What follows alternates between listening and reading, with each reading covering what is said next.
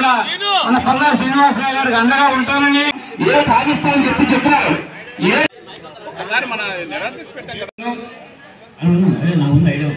ఇప్పుడు మాజీ corporator senior నాయకులు గంగ శ్రీనివాసరావు గారు మాట్లాడిన తర్వాత మా అధ్యక్షుడు లంచవంత్ గారు మాట్లాడతారు.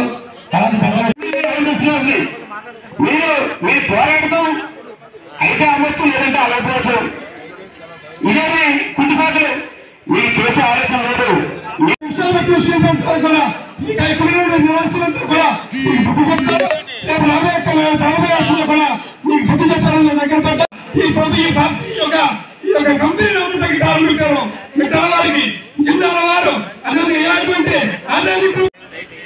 పనులు వస్తూ ఉంటాయి పోతూ ఉంటాయి. అది మాకు పెద్ద సమస్య కాదు.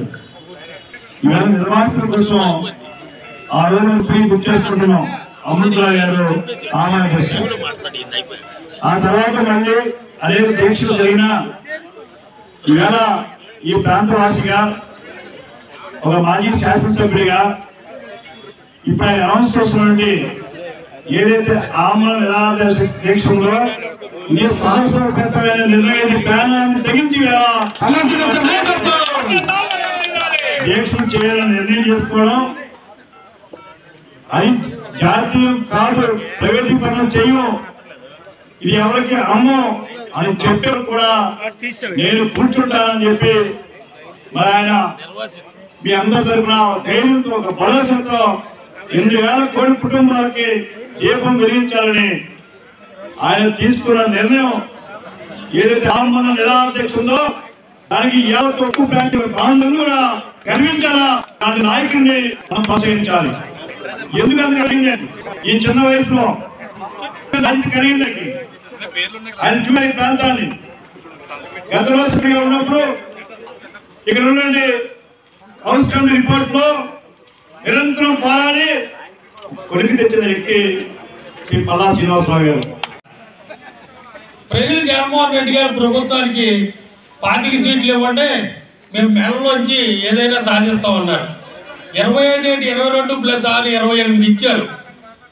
మీరు మెడలు వచ్చి వచ్చి ఇక్కడ చేసేది పొట్టు విడుకుంటానిక దానికి నిరసనగా రాష్ట్ర ప్రభుత్వం చర్యలకి కేంద్ర ప్రభుత్వం లాలూచి విధానానికి నిరసనగా ఈరోజు మన విశాఖ పార్లమెంటరీ పార్టీ తెలుగుదేశం అధ్యక్షులు పల్లా శ్రీనివాస్ గారు ఆమరణ దీక్షకి కూర్చోవడం చాలా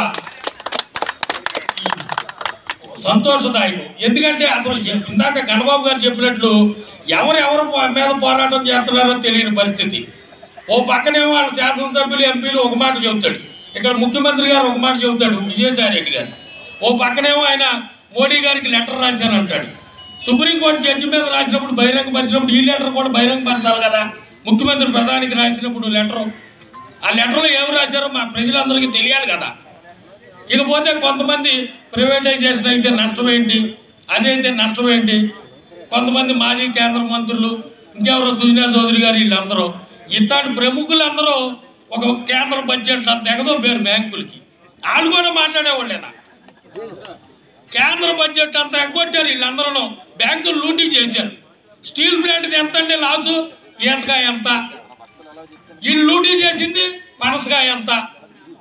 అందరూ మన మోడీ గారి సన్నిహితులే. ఉన్నోళ్ళందరూ దేశంలో ఈ బ్యాంకులకు ఎక్కొట్టిన వాళ్ళందరూ అలాగే జగన్మోహన్ రెడ్డి గారు విజయసాయిరెడ్డి గారు కలిపి సూట్ కేసు కంపెనీలు పెట్టి ఆర్థిక నేరస్తులు లక్ష కోట్లు కుంభకోణం. ఈ డబ్బులన్నీ వసూలు చేస్తే ముప్పై నలభై లక్షల కోట్లు వస్తాయి. దాంట్లో ఎంత అండి ఇది స్టీల్ ప్లాంట్? దయచేసి కేంద్ర ప్రభుత్వానికి రాష్ట్ర ప్రభుత్వానికి ఒకటే కోరుకుంటున్నాం. ఎట్టి పరిస్థితుల్లో కూడా ఉక్కు నిర్వాసితులకు న్యాయం జరగాల.